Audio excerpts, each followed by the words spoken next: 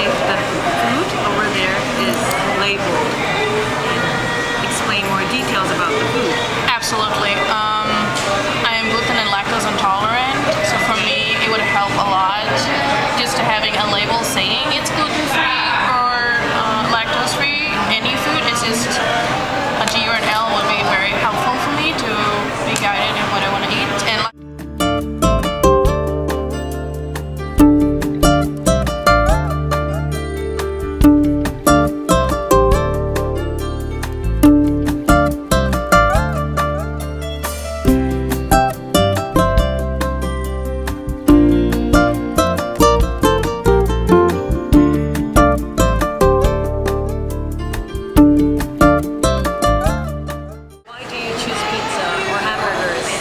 choose pizza or hamburgers because it's the cheapest by far, and compared to salad and other healthy food, um, it's it's cheaper and I just I, it's tasty and I just like it and it's like fast food.